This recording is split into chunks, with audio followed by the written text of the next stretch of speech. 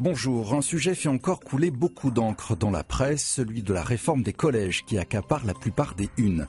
À commencer par le bon élève du jour, le Parisien aujourd'hui en France, qui fait dans la pédagogie et propose de décrypter cette réforme qui enflamme les esprits. Face aux vives critiques des intellectuels, de la droite et des syndicats d'enseignants, le journal distingue le vrai du faux, c'est instructif, mais rappelle aussi que la réforme en question ne date pas d'aujourd'hui, mais de 1975 autour de l'idée du collège unique. La question divise depuis très fortement les partisans d'un collège plus élitiste et ceux qui souhaitent avant tout une bonne scolarité obligatoire pour tous. Très violemment attaquée, c'est une jeune ministre qui porte donc aujourd'hui la modernisation de cette vieille réforme. Libération vole au secours de Najat Vallaud-Belkacem et se demande si au final ce ne serait pas elle qui aurait raison. Pour Laurent Geoffrin, ces projets ne sont pas exemples de reproches, dit-il, mais l'éditorialiste se désole de la mauvaise foi des détracteurs qui taxe d'égalitarisme un système au contraire de plus en plus élitiste et qui doit être changé de la vie de tous.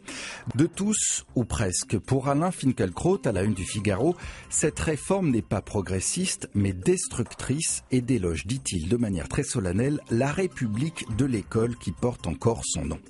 Toujours dans le Figaro, le cri d'alarme du procureur de Paris dans un entretien exclusif.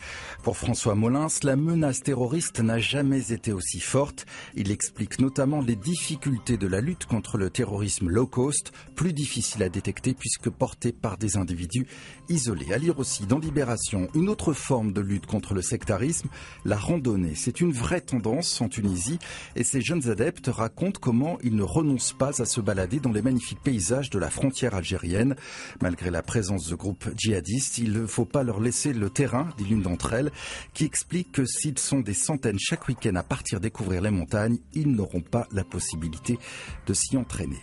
Un regard sombre pour terminer avec la une du monde et un titre digne d'un roman, l'exaspérant monsieur Varoufakis, car le ministre grec des Finances qui négocie sa dette avec l'Eurogroupe est décrit ici comme une véritable rockstar qui s'est mis à dos l'ensemble des ministres des Finances et visiblement aussi quelques journalistes. C'est ainsi que l'on se quitte. Bonne journée.